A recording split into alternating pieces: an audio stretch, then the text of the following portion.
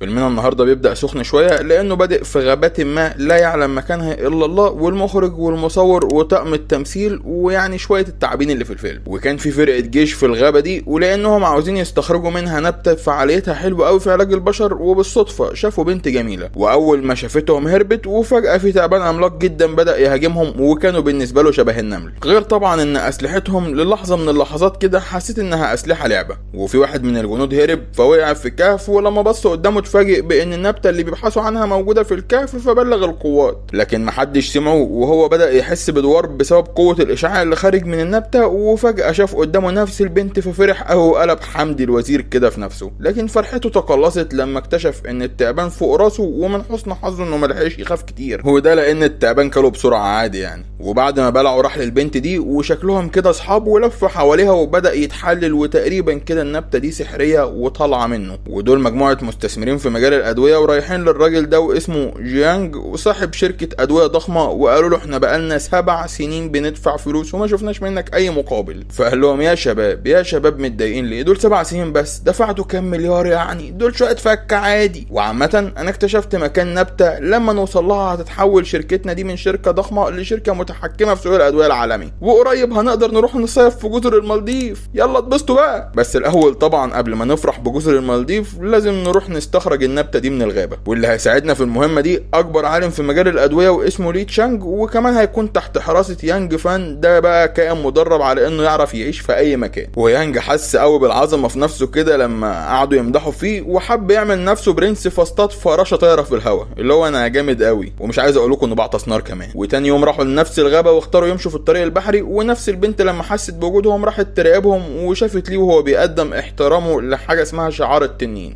وكان محترمه قوي ففرحت بيه واذ فجأة في جيش خفافيش عملاق مر من نفس المكان عن طريق الصدفة. فشافوا الشباب دول وفي خفاش قال لصاحبه قال له الحوالة لقيت غدانا النهارده اتعشت يا ابن المحظوظة. ونزلوا خدوا منهم اتنين وضربوا لهم اتنين كمان والجماعة دول عرفوا يهربوا منهم في الآخر. وفرحوا قوي إنهم هربوا وحقهم بقى يفرحوا لأنهم ما كانوش يعرفوا إيه اللي بيعوم تحتهم. وفجأة التعبان العملاق خرج من تحت المية فقلبهم بمراكبهم ودمرها وكله دور العمل اليابس عشان فوبيا المية. الواحد طبعا ما بيكونش عارف اللي تحت رجله ولو سمكة عضته في الوقت ده ممكن يغمى عليه من الخوف. لكن ليه كبير العلماء أغمى عليه في المية؟ وآخر حاجة كان شافها هي البنت صاحبة التعبان دي وراحت له عشان تنقذه لأنها شافته بيحترم شعار التعبان. وفجأة التعبان راح لف حواليهم وسابهم ومشي عشان يتفاهم مع العيال السيس دول لكن كانوا عاملين له كام فخ وضربوه بيهم وكمان عرفوا يربطوه بشوية حبال كهربائية كده عشان ما يعرفش يتحرك. وبكده فكروا نفسهم أشباح بقى ومحدش قادر عليهم وخلاص خلصوا على التعبان لحد ما البنت دي طلعت ليه من المية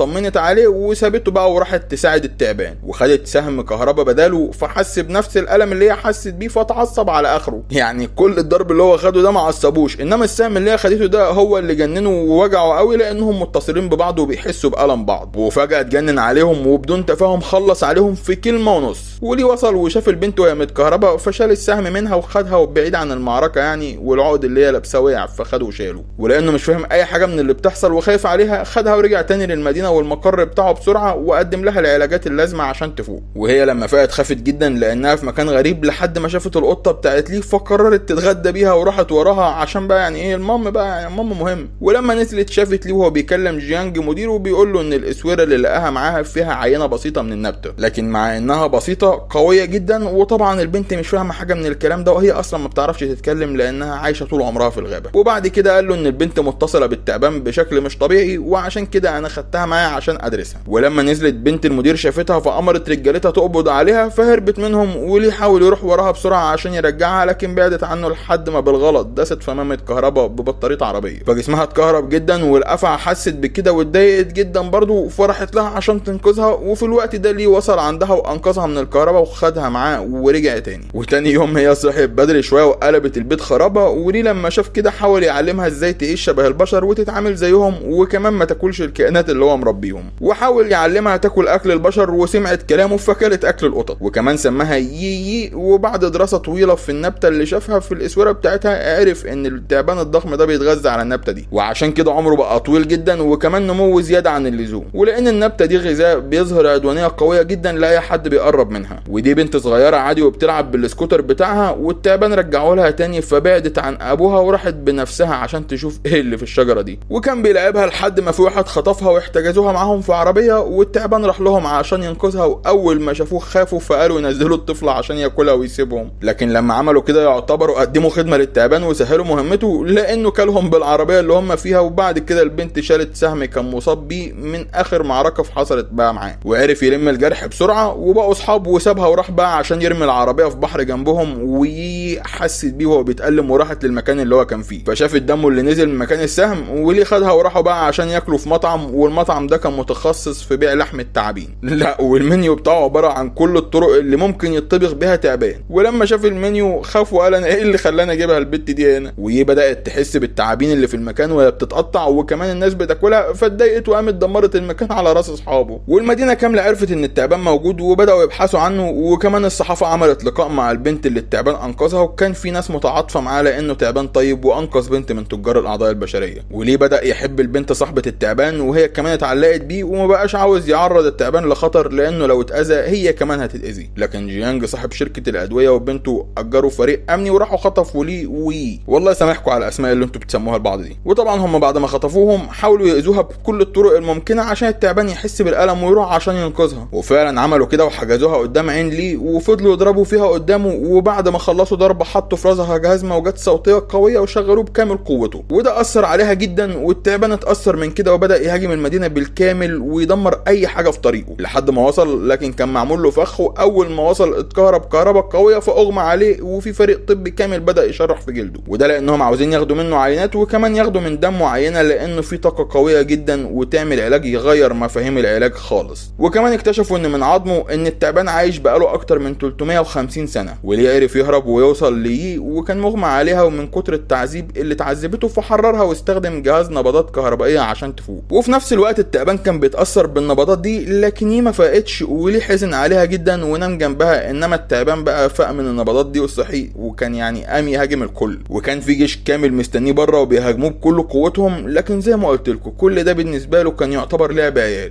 ودمر الجيش اللي كان بيهاجمه كامل بكل بساطة. وكمان قتل البنت بنت صاحبة الشركة اللي كان شايف بنته في الكاميرا وهي بتموت قدام عينه وفاقت وراحت بسرعة عشان تساعد التعبان. وليه لما صحي ما لقاهاش جنبه فراح وراها عشان يحاول ينقذها لكن وصلت بعد ما كان التعبان خلص على الكل وقرب منها في هدوء تام كده اللي هو وحشتيني قوي وفي نفس الوقت ليه وصل والتعبان اتعرف عليه وما هاجموش وقرب منهم هو كمان في هدوء بقوا أصحاب يعني خلاص. وخد الاتنين وراحوا يعيشوا في الغابة مع بعض لكن جيانج صاحب شركة الأدوية يسكت لا ما سكتش. وخد معاه فرقة تانية وراحوا عشان ياخد من النبات ده أو يقتل التعبان وكانوا حاطين عليه جهاز تتبع وعشان كده عرفوا مكانه. لكن ليه طلع قدامهم بجهاز التتبع وقال لهم أنا اللي هنا مش التعبان. وجيانج لما شافه اتضايق منه لأنه واقف في طريقه فضربه طلقة في رجله. وليه قال له أنا مستعد أحميهم بأي طريقة وحتى لو الموضوع ده هيكلف حياتي؟ وحط صراع على صدره وجيانج ما كدبش خبر وقال له لك ما تريد وقتله وفي جيش من الخفافيش هجم عليهم بسبب ريحة الدم وما سابهمش غير لما خلص على كل اللي موجودين وجيانج خاف وهرب ونزل في الكهف اللي فيه النبتة بالصدفة. ولما شافها فرح جدا وقال أخيرا لقيتها وحس إنه خلاص وصل لهدفه لكن ما فرحش قوي لأنه برضه لقى إيه واقفه قدامه والتعبان واقف فوق راسه وبلعه في بق واحد. وهي كانت حزينة جدا على ليه وراحت قعدت جنبه وفضلت تفتكر كل ذكرياتها معاه. وهنروح قبل ثلاث أيام من موت ليه وهو كان بيعمل أبحاثه واكتشف إن إيه في في دمها نفس المادة اللي هم محتاجينها عشان يعملوا العلاج وأبحاثهم. لكن في نفس الوقت عرف إن العلاج ده قد ما هو مفيد جدا خطر جدا وهيجي عنده مرحلة كده وهيدمر البشرية بالكامل. وعشان كده مسح أبحاثه وما سمحش لحد إنه يشوفها وكمان ساعدهم في إنهم يهربوا.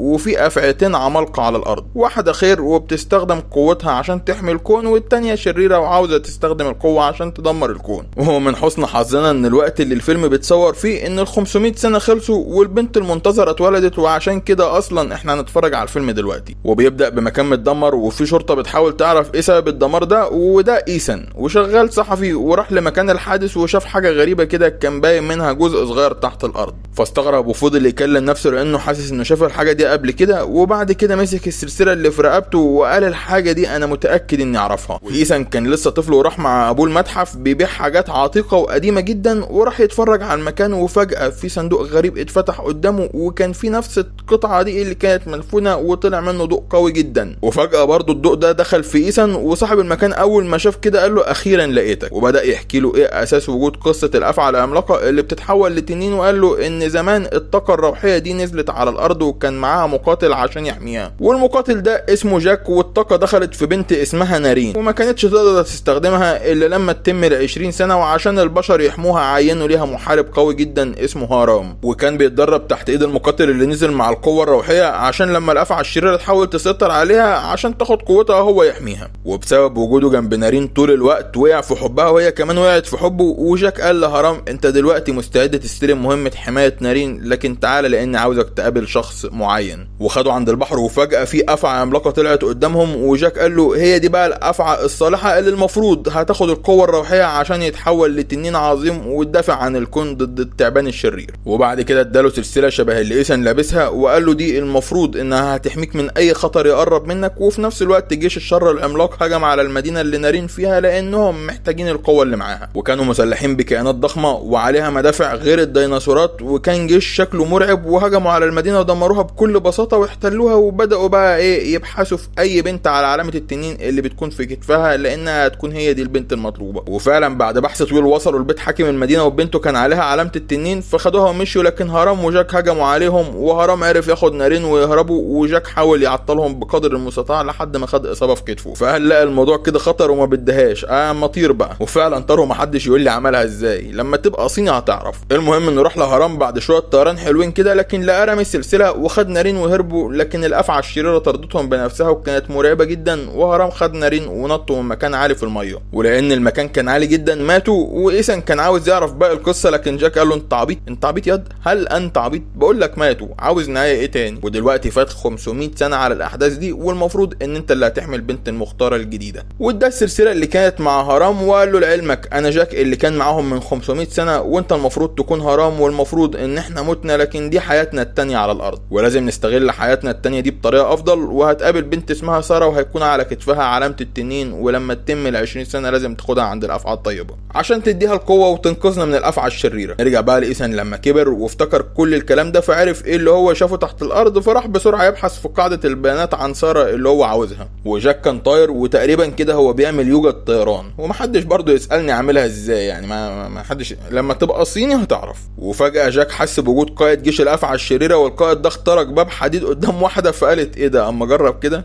لكن الموضوع ما ظبطش معاها قوي. وساره كانت ماشية في الشارع وفجأة في ثلاثة طلعوا يغلسوا عليها لكن ما لحقوش لأن جاك كان بيراقبها وراح عمل معاهم الصح ومشي. وبالليل حارس حديقة الحيوان سمع صوت الأفيال عمالة بتستغيث بأي حد فراح عشان يشوفهم لكن اتصدم بافعى عملاقة قدامه. وكانت حاطة فيه الكامل في بقها كأنه لعبة. فخاف وهرب وراح يبلغ الشرطة باللي شافه وقال لهم أنا شفت تعبان عملاق جدا وكل فيه في قرمه واحدة فحولوه لمستشفى المجانين بدون ما يفكروا. وساره وهي نايمة حلمت بإن عربيتها اتحولت لجلد تعبان فخافت وفجأة في واحد ظهر من وراها ومسكها ولما صحيت كانت خايفة جدا وعلامة التنين اللي في كتفها طلعت ضوء قوي جدا. وبسبب الضوء دوت وجعتها وحست بإصابة جامدة في كتفها فطلبت إسعاف وراحت للمستشفى وصاحبتها راحت لبيتها بقى عشان تاخد لها شوية هدوم وحاجات لزوم المستشفى بقى والكلام اللي بإذن الله ما حدش يجربه ده. المهم وهي صاحبتها في البيت اتصدمت بالافعى العملاقه في وشها وكانت رايحة عند بيت سارة لأنها عاوزة تاخد القوة منها. والبنت حاولت تهرب هي وصاحبها لكن قائد الجيش ده ظهر قدامهم وقتل الواد ده اللي كان معاها والبنت حاولت تهرب لكن يعني ما لحقتش. لأن الأفعى زلطتها ولما ما لقيتهاش هي دي سارة رمتها تاني. وايسن راح لمكان الحادث بما إنه صحفي وعرف من الجيران إن سارة كانت في المستشفى مش في البيت وقت اللي حصل فراح المستشفى عشان يحاول يحميها. ولما قابلها قال لها ما تخافيش أنا مش جاي أكتب قصة عنك أنا هنا عشان أحميكي. وفي نفس المستشفى الدكتورة بتشوف الراجل اللي شاف التعبان العملاق في الغابة وكانت بتحقق معاه عشان يعني ممكن يحولوه لمستشفى المجانين. فقال لهم أنا مش مجنون ومتأكد من اللي أنا شفته. وفي نفس الوقت لقى نفس التعبان واقف بيبص من الشباك اللي وراهم. فقال للدكتوره ظهر الحق. بص وراكي وانت هتشوفيه. لكن لما بصت ما لقيتش حاجة لأن التعبان كان مشي ويعني بالطريقة دي هم اتأكدوا إن هو كده بقى مجنون رسمي والتعبان بدأ من المستشفى عشان عاوز ساره لكن ايسن خدها وهربوا وركبوا العربية مع بروس صاحب ايسن وهربوا والتعبان حاول يروح وراهم بسرعة لكن عرفوا يهربوا منه وقابلوا قائد الجيش في وشهم. فشالوه بالعربية وكملوا هروبهم وجيش الشر بدأ يتكون من مخططات يابانية عتيقة وخرج منها جنود وكائنات عملاقه والموضوع كده وسع والحكومة بدأت تتدخل. وتعقبوا مكان التعبان ولما وصلوا عنده قال لهم نورتوني والله. وخرج عادي قدامهم يعني هو ما عملهمش أي حاجة بس هم خافوا بقى خافوا جدا كمان ما أعرفش ليه بصراحة يعني ما ما اذاهمش ما لهمش حاجة. وراح وراهم وفجأة جيش التعبان وصل والقائد قتل العساكر بضربة واحدة. وسارة راحت لدكتور مخ واعصاب عشان بدأت تحس إنها بتهلوس وأول ما حطها على جهاز دراسة المخ بدأت تسترجع ذكريات الماضي اللي كانت نارين عايشاها من 500 سنة لأنها هي ونارين يعتبروا شخص واحد. وشافت كل حاجة وعرفت كل حاجة وفجأة طارت في الهواء وطلعت هالة غريبة حواليها وكانت قوية وفجأة كل حاجة رجعت لطبيعتها تاني والتعبان عرف مكان سارة من الطاقة دي وراح لها. لكن هربت كالعادة وإيسان خدها في عربية وهربوا والتعبان حاول يروح وراهم لكن كانوا أسرع منه وهربوا. ما أعرفش إزاي بس هو ده بقى اللي حصل يعني. ما أعرفش بصراحة يعني ممكن يهربوا منه إزاي. المهم التعبان كان بيعرف طريقهم حتى لو سارة رجعت تبطن أمها تاني. وبيطاردهم في كل حتة وبيدمر أي حاجة بتقف في طريقه بشكل مرعب. فطلعوا بسرعة على برج عشان يهربوا منه بطياره هليكوبتر لكن ما سابهمش وبدأ يطلع على البرج هو كمان وكان واخده في حضنه قوي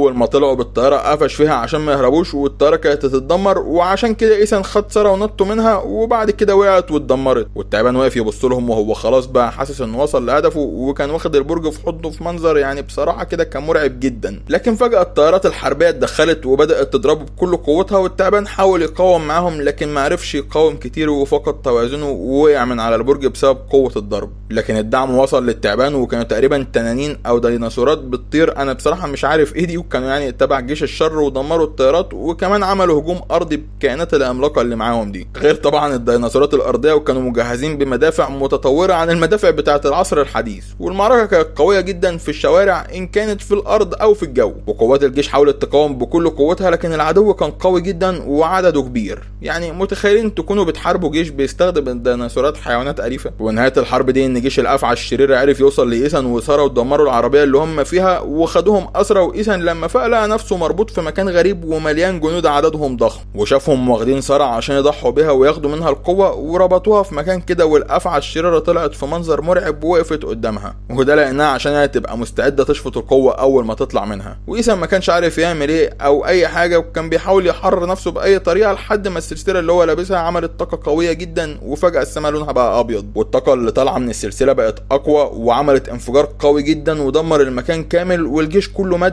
بحيواناته ومخلوقاته وكل الجنود وكل حاجة إلا القائد والأفعى. والقائد كان هيقتل ساره لكن إيسان أنقذها ودخل معاه في معركة لكن كان ضعيف جدا والقائد ده ضربه بسيفه لكن السلسلة دفعت عن إيسان. وطلعت طاقة قوية برضه وحرقت القائد وفي الوقت ده الأفعى فاقت تاني وإيسان فك ساره وقبل ما يهربوا الأفعى كانت هتاكلهم لكن أفعى الخير وصلت ودفعت عنها. يعني لحقتها على آخر لحظة ودخلوا في معركة مع بعض وكانت قوية جدا لكن الأفعى الشريرة هي اللي انتصرت لأن أفعى الخير كانت لسه ضعيفة لأنها ما بتستخدمش قوتها. قوي. وفي الوقت ده سارة ضحت بنفسها وسمحت للطاقة تطلع من جسمها للسماء واتكونت على شكل كوره طاقه كده واتحكمت فيها بإيدها لحد ما وصلتها للأفعى الخير. فكلتها وبعد كده سارة ماتت وأفعى الخير بدأت تتحول لحد ما اتحولت لتنين قوي جدا وبيقدر يطير وطلعت للسماء ونزلت بكل قوتها على الأفعى التانية. وكلتها علقة محترمة وبعد كده ضربتها طاقة من بقها شبه جودزيلا كده فقتلتها في وقتها. واللي ما شافش جودزيلا هتلاقوني عامل لكم الجزء الأول والتاني في الوصف للي يحب يشوفهم. المهم إن التنين نزل قدام إيسان وطلع الطاقه من بقه وكان فيها رسالة لإيسان وسارة قالت له اصبر يعني 500 سنة يا بيبي بس وهنكون مع بعض تاني. وده هيكون في حياتنا التانية. ومش هيكون في أي قوة بتهددنا تاني. ورجعت بقى تاني للتنين اللي خدها في بقه وطار للسما وودع إيسان وهو عينه كلها دموع. لأنه خد روح سارة وطار. وكمان جاك لما حس إن مهمته كملت اختفى بقى ومات هو كمان. وتقريبا كده إيسان بقى وحيد يعني. ولو حد صعبان عليه إيسان ممكن يروح يقعد معاه. وطبعا ما تنسوش تعملوا اشتراك في القناة وتفعلوا زر الجرس واللايك الجميل.